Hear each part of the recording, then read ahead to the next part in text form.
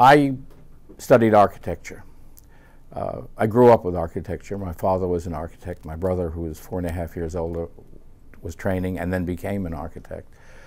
I had no idea I was ever going to be um, a, a, writer or anything like that. I was going to be an architect. And all my early playthings are all the things he brought home from the office, samples of, you know, wood samples, marble samples, electric bits and pieces, everything.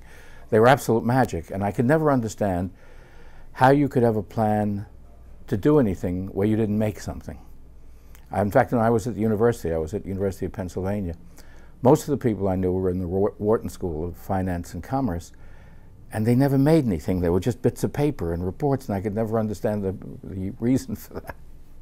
Uh, anyway, I, after, after college, I went into the Navy. Those were the days that you had to go into service, and with, you know, with great uh, objections, and uh, I, I was being wronged and everything. But it was a terrific experience. I met people and, and confronted problems and things I never would have without going into that, uh, that kind of life for three and a half years. But as you know in service, a lot of your time is wasted. You know, you do some things and then there's a lot of standing and waiting and trying to kill time. And uh, we were stationed in, in uh, Newfoundland, which is a kind of interesting place. It's right where the uh, Gulf Stream and the Labrador Current meet, generating masses of misery, I call it. It's all fog and damp and, and very cold and wet, but the kind of cold that goes right through and into your joints.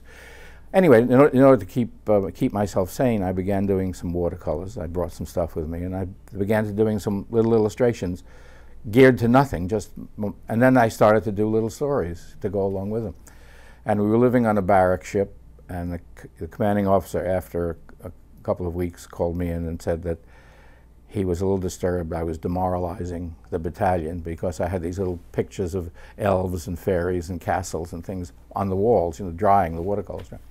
And that uh, the Navy men didn't do that sort of thing. So I had to stop.